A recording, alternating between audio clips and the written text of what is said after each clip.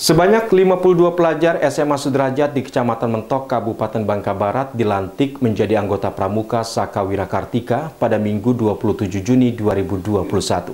Sakawira Kartika merupakan kegiatan kepramukaan di bawah binaan Kodim 0431 Bangka Barat.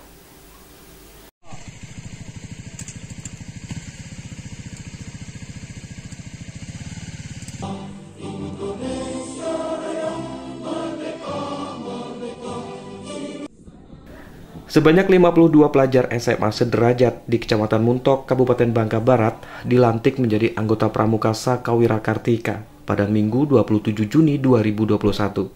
Pengukuhan anggota baru Pramuka Sakawira Kartika ini setelah melewati berbagai proses kegiatan di markas Kodim 0431 Bangka Barat seperti perkemahan selama tiga hari, pelatihan penanggulangan bencana alam, dan pembelajaran pengetahuan tentang kepramukaan.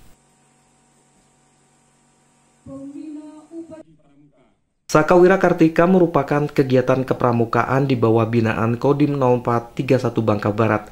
Peran petugas dari 52 anggota baru ini diproyeksikan sebagai pemuda bela negara dibekali dengan keterampilan militer Angkatan Darat.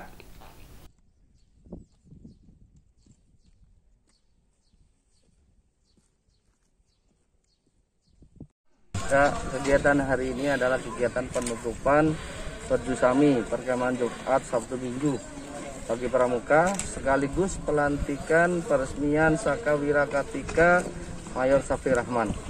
Itu tujuannya apa dilaksanakan kegiatan ini? Nah, kegiatan ini kita uh, dalam rangka yang pertama adalah program dari Angkatan Darat di mana membentuk pemuda-pemuda yang berkarya dalam hal ini uh, kelompok organisasi pramuka dan uh, kita ingin memberikan kemampuan-kemampuan uh, yang berada keterampilan di angkatan darat sehingga eh, pemuda-pemuda uh, kita ini menjadi pemuda yang siap untuk bela negara.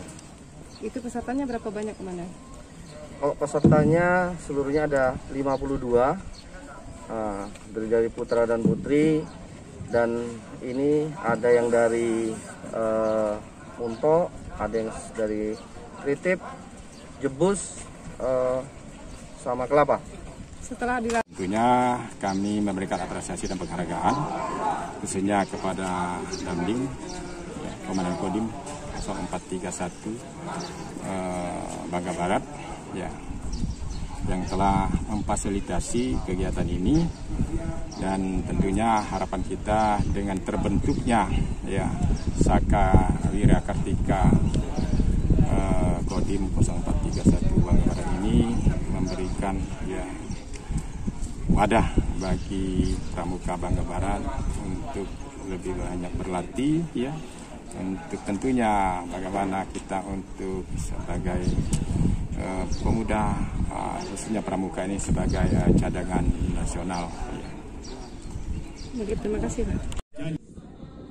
Kodim berharap kepada 52 peserta yang berpartisipasi bisa menerapkan pembelajaran selama perkemahan di Kodim 0431 Bangka Barat dan menjadi duta bela negara bagi generasi muda untuk lebih mencintai bangsa dan membela negara dari ancaman gangguan Kamtipmas. Dari Bangka Barat, Bangka Belitung, Rizky Rahmadani Ainus melaporkan.